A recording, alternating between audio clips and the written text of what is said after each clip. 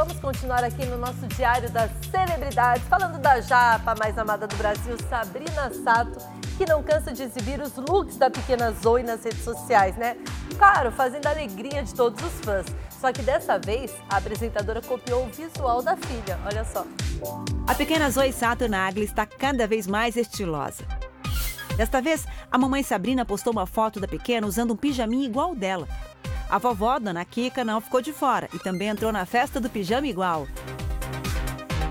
O clique encantou os fãs e já ganhou mais de meio milhão de curtidas.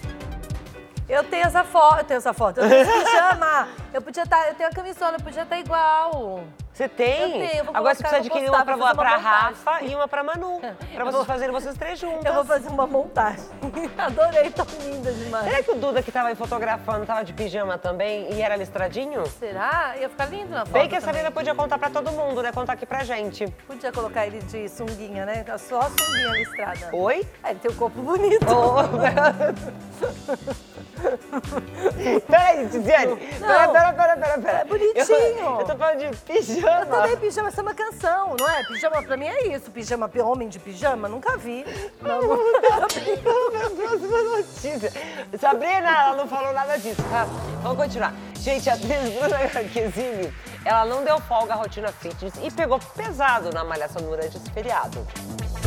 Bruna Marquezine aproveitou o feriado para exercitar o corpo e manter a boa forma. Quem postou as imagens do treino na internet foi o personal trainer dela, que também atende outras estrelas como Angélica, Grazi Massafera e Carol Dickman.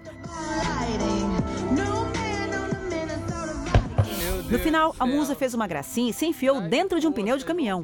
O treinador não deixou por menos e a chamou de doida.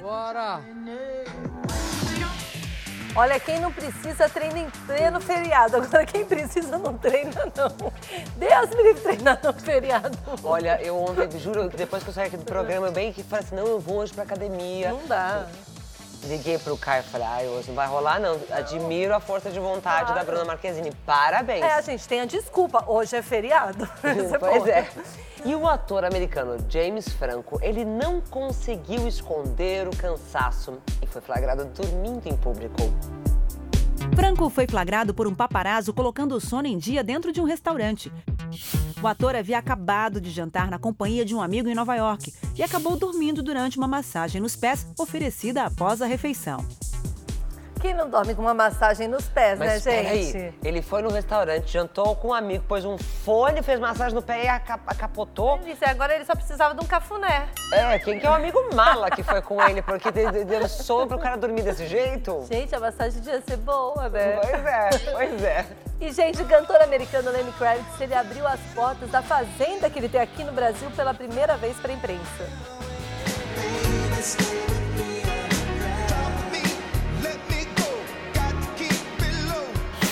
Kravitz abriu as porteiras da fazenda que comprou no Brasil para a equipe de uma revista de arquitetura. Esta é a primeira vez que o músico mostra imagens do local. A fazenda colonial do século XIX foi comprada em 2003 por cerca de 12 milhões de reais e fica no município de Duas Barras, no interior do Rio de Janeiro. A propriedade tem a fachada preservada e conta com campo de futebol, piscina, academia, churrasqueira, gado e uma coleção luxuosa de objetos de arte.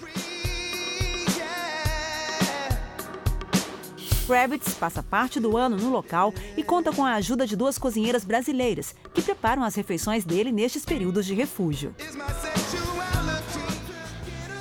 Que demais, hein? Que demais. Eu sou fã do Lenny Kravitz, mas não sabia que ele tinha essa fazenda aqui. Nossa, eu, eu achei que fosse da Bahia. Eu já ouvi falar e eu queria ser convidada, tá? Próxima vez. Fica a pra dica pra uma você, meu querido Lenny Kravitz.